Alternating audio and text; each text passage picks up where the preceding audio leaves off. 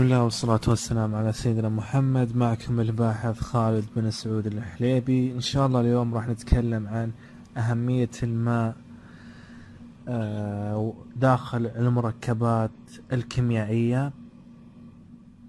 طبعا واحد يعتبر مكون أساسي لكل أجزاء الجسم.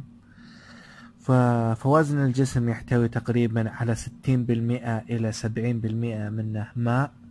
كما يدخل الماء بنسبة تسعة وتسعين في اللعاب والعصير المعدي بنسبة تقريبا خمسة وتسعين بالمئة تقريبا في بلازما الدم.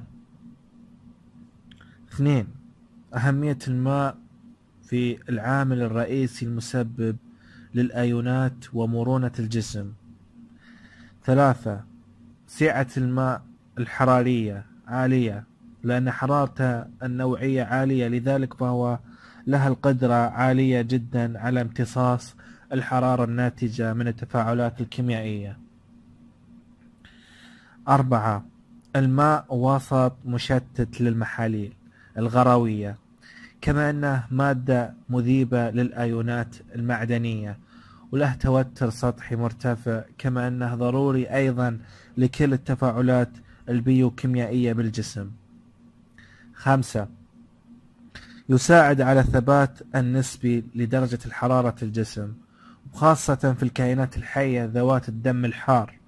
الإنسان والحيوان عن طريق عمله كملطف للحرارة في درجة الحرارة العالية حيث يعرق الإنسان آه، لتلطيف درجة الحرارة التي في جسمه. ستة. يذيب المواد الضارة أو الزائدة ويطردها خارج الجسم في, الع... في أثناء التعرق أو البول كما يسهل خروج البراز في صورة لينة لا تضر القناة الهضمية.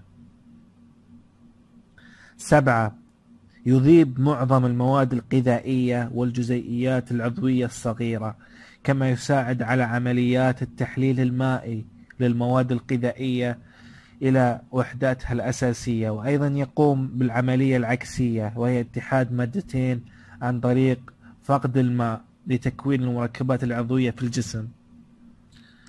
ثمانية هو الوسط الذي تتم فيه كل التفاعلات الأنزيمية. هذه أهميات آه، آه، الماء في أهمية الماء في المواد الكيميائية العضوية والغير العضوية في الجسم وخارج الجسم. إلى هنا انتهى الدرس. كان معكم الباحث خالد بن سعود الحليبي. إن شاء الله نشوفكم في درس لاحق.